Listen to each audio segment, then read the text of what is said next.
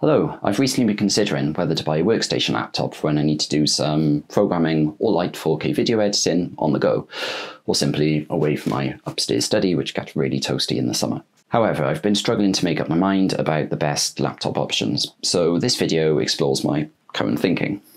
The key specs I'm looking for are a 16 or 17 inch screen and at least 32 gigs of RAM. Anything less would be insufficient for 4K video editing. I mean, heck, even a 17 inch screen is kind of small for 4K video, but at least it's sort of workable. I'm also looking for a Windows system because whilst the MacBook Pro range is awesome, I'm a complete iOS noob.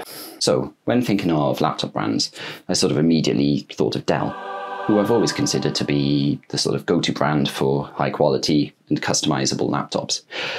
But their recent reviews have been quite poor, and many people on Reddit and elsewhere consider Dell to now be a substandard laptop company. So I went exploring beyond Dell and I came up with a list of six laptops that I think might suit my requirements. These are the Asus ZenBook Pro 16X OLED, the Asus VivoBook Pro 16X 32GB, the Dell XPS 17, despite the recent reviews, the Lenovo ThinkPad P16 Gen 1, the Lenovo ThinkPad X1 Carbon Gen 10, but not the latest Gen 11, and finally the HP ZBook Power G9. Now, if you have any immediate thoughts on this list, please let me know down in the comments. But other than that, I wanted to sort of run through my thinking for each laptop. Firstly, Asus. Many people, again on Reddit, said that Asus and Lenovo are great laptop brands right now, albeit customer service just seems to be lacking across the board.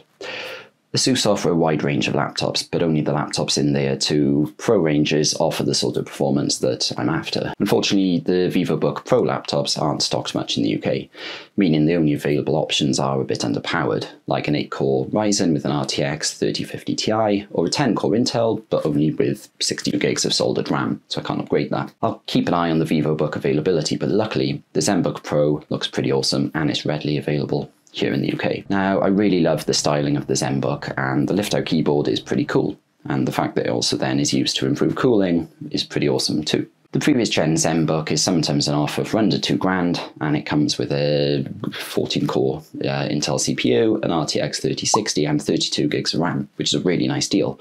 Although it's worth noting that the RAM is DDR4 here. I, I don't mind owning previous gen, but for such an expensive purchase, I'm not sure if I should insist on DDR5 here. Next up is the Dell XPS 17.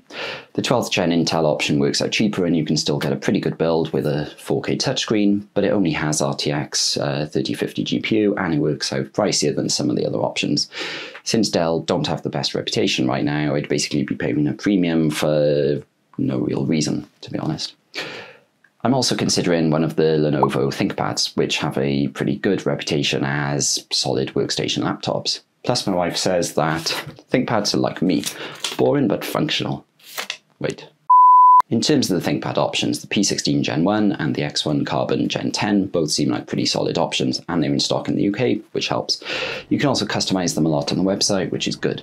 My main concerns are the ThinkPads are a bit sort of bulky and heavy, plus some people have said that the latest X1 Gen 11 has some big fan noise issues. The final laptop I've considered is the HP ZBook Power G9, which has some pretty good specs, including a 14-core Intel CPU, 32 gigs of RAM, a 4K touchscreen, and a 3-year warranty as standard in the UK. It's also decently light and has fairly good reviews, so the ZBook could be a really good option for me. Uh, so that kind of sums up my general thoughts for a potential new laptop. My other two options are to either not buy a new laptop and just make do with my current PC, or buy a much cheaper Windows laptop and look at whether using remote desktop could work. In other words, I could just use a cheaper laptop as a thin client access point to my main PC. I've got no idea if that'll be a practical option though. So I'm kinda not sure. Being able to edit 4K video on move would be pretty nice, but I don't know whether that's going to be the best option for me, especially because it's easy to sort of think you're going to use certain features like video editing when traveling, but you end up not needing them and ultimately wasting your money. If you have any comments on my slightly rambling thoughts, please do let me know. Other than that, thanks for watching this video. Please like it and subscribe to my channel if you haven't already. Thank you.